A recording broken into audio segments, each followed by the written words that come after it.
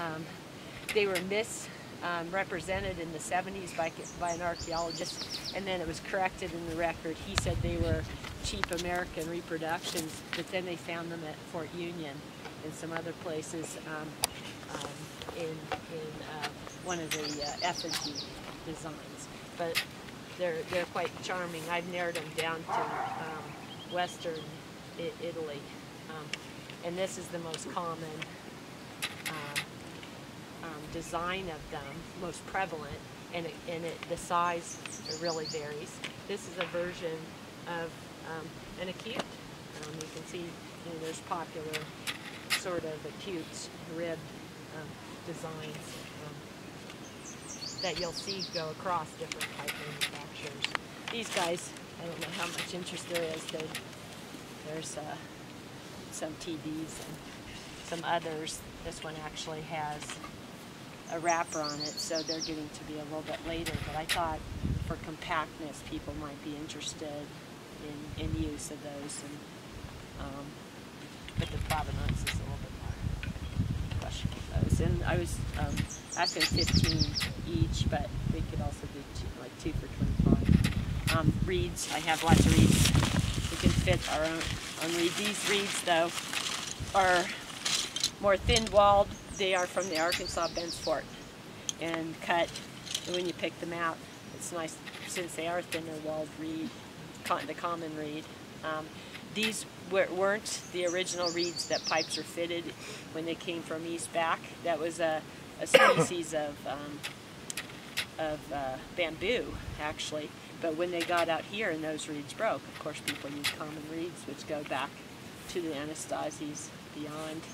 There's two species of common reed. One's native and one was introduced about the turn of the 1800s. Um, it was introduced on the East Coast, so it probably wasn't here but it's still, um, once you strip it down, take off the leaves, the two are so similar, you can, can't really tell the part, uh, them apart between the two species. And there's a mixture down always between those two, and along the Arkansas there is a wonderful place, and I do first person gathering reeds to get these.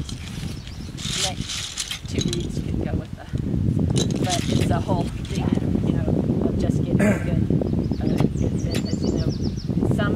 pipes came originally with um, the Pamplin pipes in the home industry came with little uh, cork. Uh, they might have a little cork in there to get a type that you can get a good, you know, to see if you've got a good suction there. So, um, Andrew, you have first steps. And, uh, and Not that one. That's the one I like. And Moki, oh. Moki, and Moki, Moki and neighbor, and then it's a free for all. These guys contacted me early, and and I just was giving them first steps. Uh, Kevin Hebert was very interested in these and he snagged one up because it's a situation where you have a reed and then there's a sleeve and it, they're very hard to find the sleeves but it's an oversleeve between this and the and the reed so those hmm. are um, you have to do a little work to get it to work and those little sleeves were made out of, they were metal. Yeah, um. And what kind of metal as far as tin, we yeah. thought. Um, I also have, if people okay. are collecting, next victim. These are not smoke. These have all been cleaned and checked, uh, and if they if they you find a crack in them, other than like letting a horse step on them, I'll give you another pipe because they've been cleaned hairline cracks I've found only come up when I clean them. They'll, they'll bubble and fizz and even widen. But you can have pipes that look so good on eBay or whatever, and you get it and it has a hairline crack and it is a pain in the ass because you just paid, you know, whatever you think you got a deal. But these are examples of that. And, and I, I had these on a trade blanket and, you know, these are more for people that want to form maybe for their collection. Um, even you know, this charmer, you know, um, they're not, I wouldn't recommend, you could smoke them and use them, but I had these too, and, you know, just a few bucks. For, oh sure, yeah, thanks. Yeah. yeah.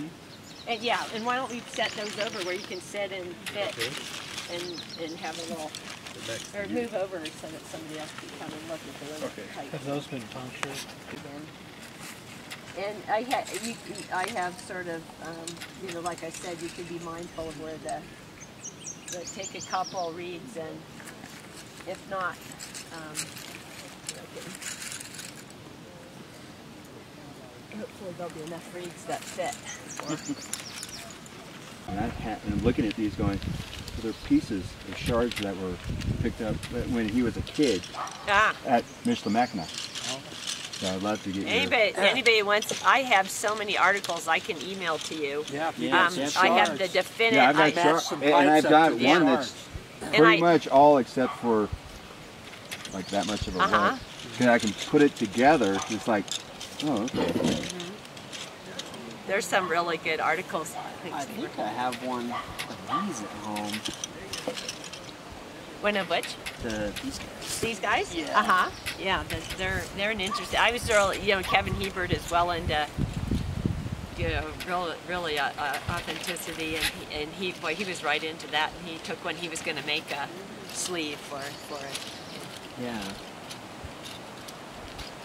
Good trend.